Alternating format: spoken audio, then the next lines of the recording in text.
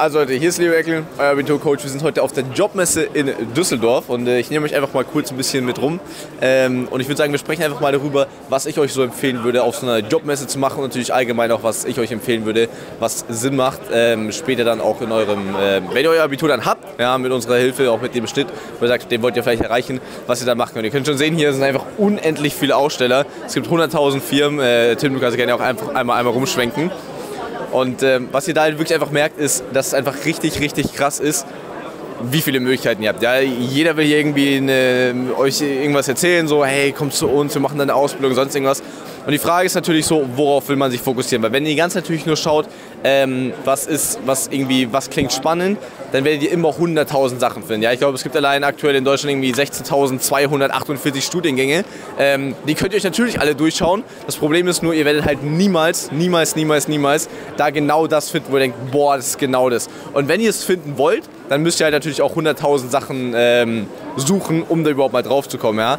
Deswegen, was ich euch empfehlen würde, anstatt auch gleich auf so eine Messe zu rennen, euch komplett überfluten zu lassen von irgendwelchen Informationen. Habt ihr bei jeder Messe, habt ihr irgendwie, keine Ahnung, kriegt ihr da einen Stift, da, äh, keine Ahnung, von äh, Lidl eine Banane. Übrigens, geile Aktion, finde ich mega, ich mir auch schon eine geholt. Ähm, so, das bringt euch natürlich was, ja, weil ihr habt ein paar Informationen mehr, aber es ist auch nur noch ein Stück mehr Informationsflut. Das heißt, was ich euch empfehlen würde, setzt euch lieber daheim, so dumm es jetzt klingt, in euren Keller, nehmt euch ein Stück Papier, nehmt euch einen Stift, den könnt ihr euch auf so einer Jobmesse holen, da gibt es euch genug davon.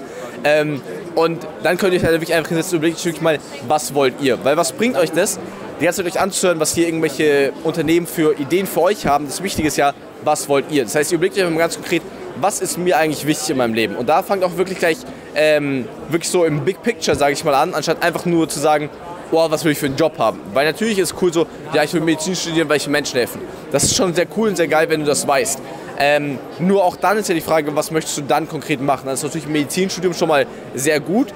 Nur auch da müsst ihr euch bewusst sein, ihr lauft Gefahr, euch sehr schnell in irgendwas reinzubringen, was eigentlich überhaupt nicht euer Punkt ist. Ja? Das bedeutet, wenn ihr dann auf einmal habt ihr, keine Ahnung, zehn Jahre lang studiert oder was weiß ich, oder zehn Semester oder wie lange es auch im jeweiligen Land, wenn egal Deutschland, Budapest, was auch immer, wo ihr es macht, ähm, laufen sich Gefahr, dass ihr unglaublich viel Zeit reinsteckt, nur um dann im Endeffekt zu merken, das ist gar nicht das, was ich wollte.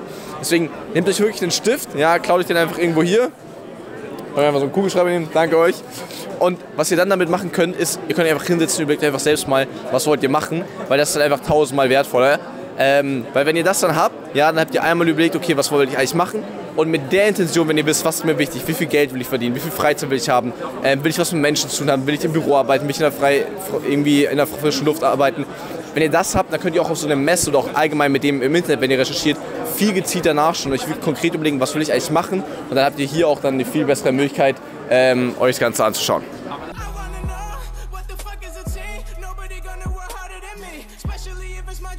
I can't let none of these looks intervene. No, most of these blessings I can't even see. Praying that I get to breathe, yeah.